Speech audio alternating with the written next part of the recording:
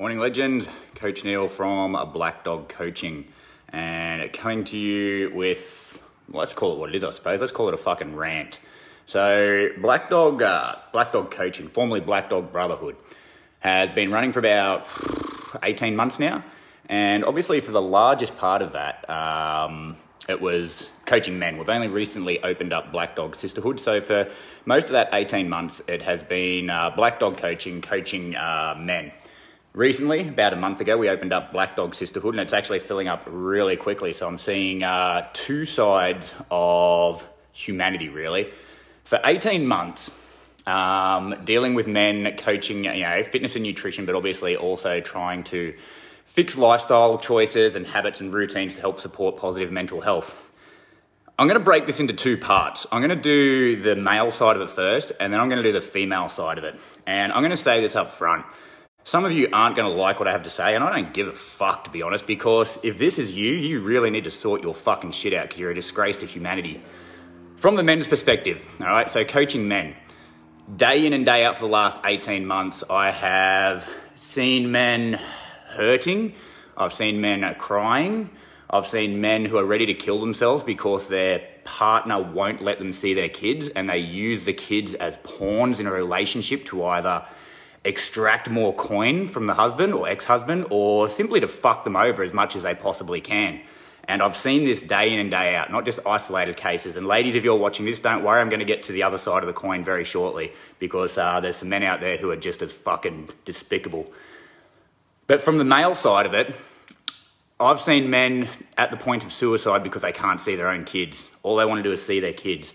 I've seen men uh, hit the point of complete and utter bankruptcy because they've been taken for absolutely everything in what should be, in my opinion, a 50 50 split. If a relationship's gone down the toilet, you need to move forward. You've both still got lives to live. Split 50 50. Put the kids first if there's kids involved. Always, always, always put the fucking kids first and don't use them as pawns. So, for the women, if you are a woman who manipulates your ex partner and uses your kids, fucking stop it. It's despicable, and the only one you're hurting is the fucking kids. Now, let's flip this on the other side of it.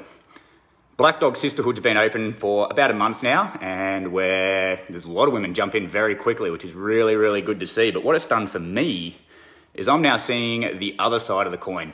I am seeing women who are victims of physical abuse, women who are victims of sexual abuse, women who are in domestic violence relationships, not necessarily physical or sexual violence, but controlling.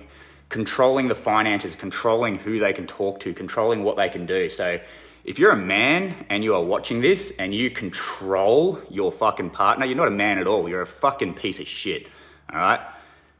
At the end of the day, I am so fucking sick of this fucking battle of the sexes. Somewhere along the line, it's gone from a battle of the sexes to this war of sexes. Here's the fucking truth of it, okay? Men are good at some things, women are good at some things. Men are fucking shit at some things, women are fucking shit at some things. At the end of the day, none of us are fucking perfect. If you are going to be in a relationship, ask yourself this. Are you in the relationship to fill a hole in your life or to patch up a fucking broken part of your life? Or are you in the relationship to make somebody else's life better? Because depending on how you answer that, it's pretty much going to determine how you treat the other person in your life. If you're in a relationship and you don't live to make that person happy, you don't live to make that person complete, it's not a real relationship. You're simply fucking patching a hole inside of yourself. You're trying to fill your jug from an external source.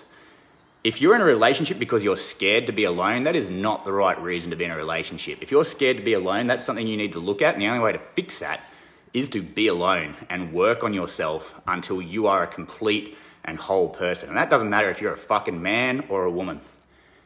If you are in a domestic violence relationship, and this is for men and women, because I have seen both sides of the coin, if you have a partner, I'm not going to say a husband or a wife, if you have a partner who controls the finances and tells you what you can and can't spend money on, if you have a partner who tells you when you are allowed to go out with your friends and fucking demands to know where you are at all times, that shit's not on. That's fucking domestic violence, no matter which way you fucking skin it, no matter which way you look at it. So I don't care if you're a man or a woman. If that's you, you're a piece of shit and you need to sort your life out. And that goes either way. I think that's it. That's the end of my rant, all right? It goes both ways, and we all need to fucking take a step back and look at the bigger picture. Men, it is never, ever, ever fucking okay to hit a woman, to make sexual advances on her if she has clearly said no. And that, and that includes if you're fucking married. Rape in marriage is a very fucking real thing. And you can be fucking sentenced for it. If a woman says no, it means no. If you are married, that doesn't mean you own that fucking woman. If you're in a relationship with her, it doesn't mean you fucking own her. All right? Take a step back, look at your relationship, look at the way that you treat one another. Ladies, if you are in a relationship or you've ended a relationship and there are children involved, for fuck's sake, put the children first. It's not about you and it's not about him.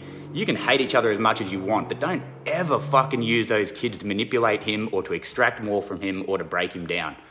And it goes both ways. This is not a dig at women, this is not a dig at men, this is a dig at the fucking human race. Because right now, day in and day out, I see it on both sides of the coin and it's fucking pathetic. Take a step back and start by looking at yourself and what you can do to be a better person and what you can do to make your partner's life better. Because if you're not in it to make your partner's life better, then you're in it for yourself, and that's not a relationship. All right, that's the end of my rant for today, guys. Take care of yourselves, take care of each other. I'll see you on the next video.